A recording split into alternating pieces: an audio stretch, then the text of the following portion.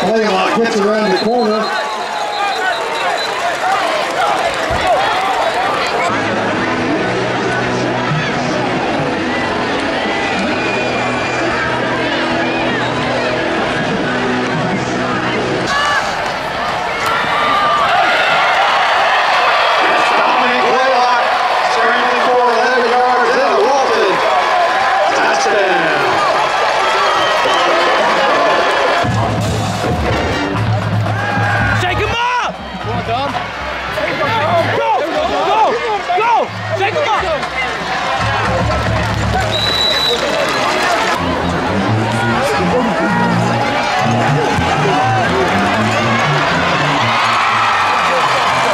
Mercy's pass is complete to Walton.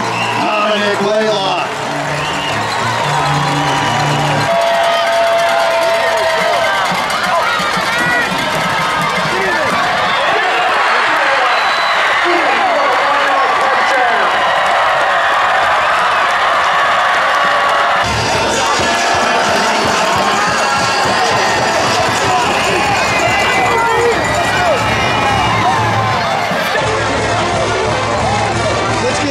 give both teams a big round of applause for one of the most exciting games we've seen all year.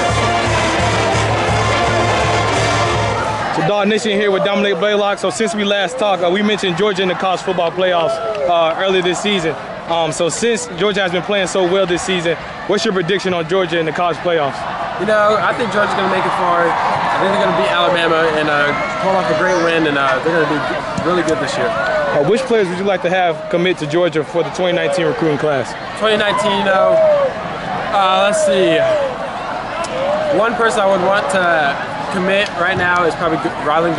He, he keep any contact with them? Oh yeah, I, text him all the time. You know, tell him it's time to pull the trigger. You know, and uh, time to Georgia. Okay, what you uh, what are your uh, thoughts on Justin Fields committing to Georgia? You know, it's a, it's a great quarter. He's a great quarterback, and uh, it's a great plus we have back to back to Georgia, and uh, it's just we're gonna do good things there, and uh, it's gonna be awesome. All right, thank you for your time, man.